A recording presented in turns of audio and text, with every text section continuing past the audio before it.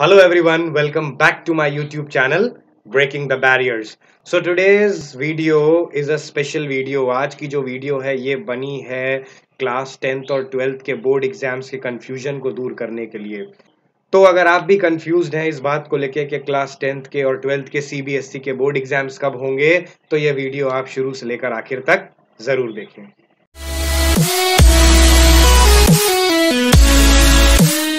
तो 1 अप्रैल 2020 को सीबीएसई का एक सर्कुलर आया था और ये बात कई न्यूज़ चैनल के माध्यम से सीबीएसई सचिव अनुराग त्रिपाठी ने भी बताई थी कि पूरे इंडिया में नॉर्थ ईस्ट दिल्ली को छोड़कर कहीं भी क्लास टेंथ का कोई भी सीबीएसई बोर्ड एग्ज़ाम अब कंडक्ट नहीं कराया जाएगा।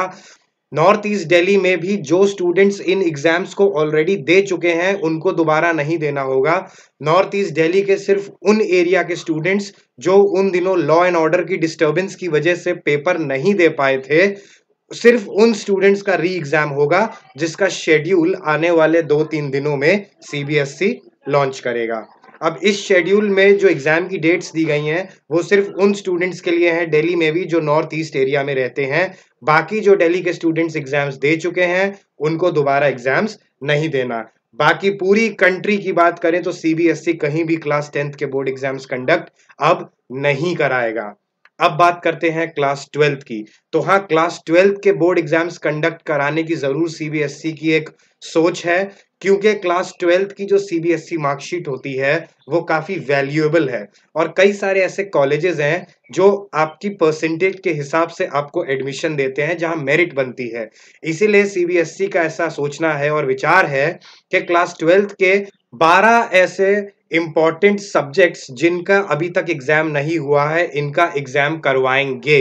इन ट्वेल्थ सब्जेक्ट्स में बहुत सारे इंपॉर्टेंट सब्जेक्ट्स हैं, जैसे कंप्यूटर है ह्यूमैनिटीज के सब्जेक्ट्स हैं कॉमर्स स्ट्रीम का एक सब्जेक्ट है ज्योग्राफी है, और भी सब्जेक्ट्स हैं, और इन 12 सब्जेक्ट्स को सीबीएसई ने इंपॉर्टेंट सब्जेक्ट्स की कैटेगरी में रखा है और बोला है कि जैसे ही हालात सही होंगे लॉकडाउन से थोड़ा हमें रिलैक्सेशन मिलेगा तो हम एक स्केड्यूल या फिर टाइम टेबल पब्लिश करेंगे, जिसमें इन क्लास ट्वेल्थ के एग्ज़ाम्स की डेट्स होगी और इन डेट्स के अकॉर्डिंग एग्ज़ाम्स कंडक्ट करवाए जाएँगे।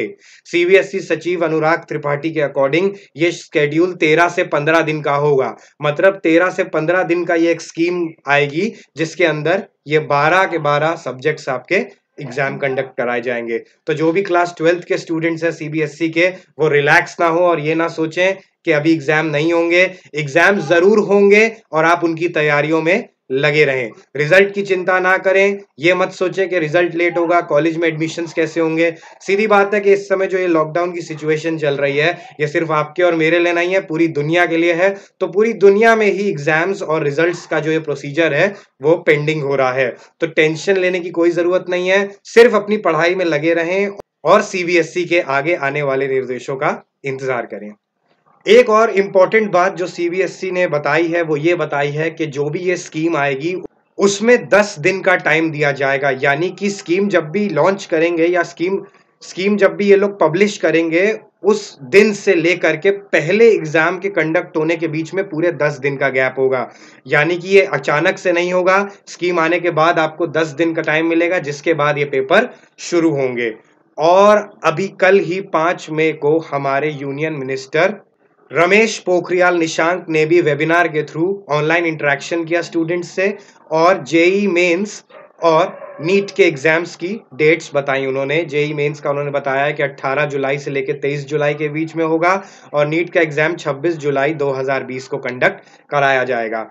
तो हम मान सकते हैं कि इन्हीं डेट्स के आसपास ये ट्वेल्थ के एग्ज़ाम्स या इन डेट से थोड़ा सा पहले ये ट्वेल्थ के एग्ज़ाम्स भी कंडक्ट करवाए जा सकते हैं। तो इन सब बातों से आप एक आइडिया लगा सकते हैं कि आप कब इन एग्ज़ाम्स की उम्मीद कर सकते हैं। इसके अलावा सीबीएसई सचिव मिस्टर अनुराग त्रिपाठी ने यह भी बोला है कि स्टूडेंट्स को परेशान होने की और किसी भी तरह का मेंटल प्रेशर लेने की ज़रूरत नहीं है। जो भी होगा, वो सबकी भलाई को देखते हुए होगा और जो भी होगा, वो स्टूडेंट्स के फ्यूचर को ध्यान में रख के किया जाएगा। तो किसी भी बात की टेंशन ना लें आप लोग और रिलैक्स माइंड के साथ इस लॉकडाउन में अपनी क्रिएटिविटी अपने टैलेंट और अपनी एजुकेशन को बढ़ाते रहें। अगर वीडियो अच्छा लगा हो तो चैनल को सब्सक्राइब करें, लाइक करें और बेल आइकन को प्रेस करें ताकि मेरे इस चैनल पे आने वाली आगे सारी वीडियोस आप लोग को मिलती रहें। So that's all for today bye bye